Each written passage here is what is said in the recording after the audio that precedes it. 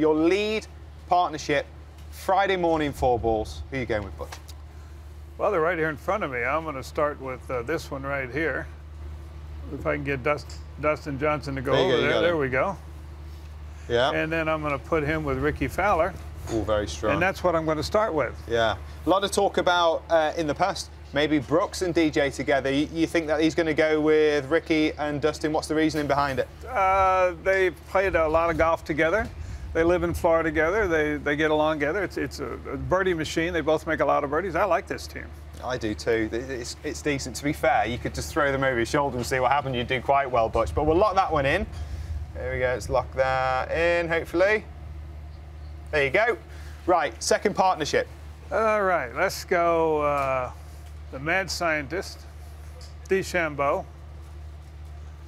Just that's me- it. Scroll it down. Just go down scroll them down, Butchie.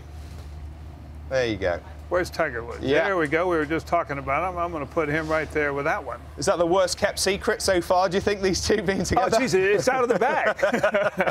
um, uh, why is this going to work this time around? We talked about the record before in, in team events. Why is this one going to be These so strong? These two guys tend to get along well together. I, I, the important thing for me, and I think one of the reasons that the European teams have been so successful, is they don't pack uh, partner players on how they play. Yeah. They get two guys that get along well together because something bad's going to happen out there.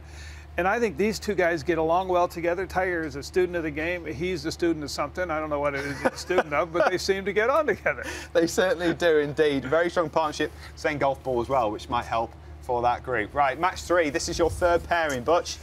Uh, let's go over here with uh, Justin Thomas. Right, JT out there. Who's he with? And I'm going to put him with his buddy Jordan Spieth. Two guys that uh, putt very well together. And it, as you know, the Ryder Cup comes down to a putting contest. I really like that one. He's been doing a little bit of work with Davis Love as well on the putting so far this week. Jordan Spieth. Is that the only thing that's really holding him back? Do you think the flat stick's starting to work well for him again? Uh, I think it is, yeah. I, I'm not sure he's playing as well as he'd like to, but I like this combination. They're two guys that get along well, two young guys that have grown up together. They played in the Junior Ryder Cup together. There's a lot of history here. I like this team. yeah, Justin Thomas, of course, a rookie, but a rookie with a difference. Yeah. You know, 20, Well. 2017 FedEx Cup champ as well. Uh, right, final partnership. Uh, who am I going to put out here? I'm going to throw a little monkey wrench in there. I'm going to go Mickelson and Koepka. Oh, yeah.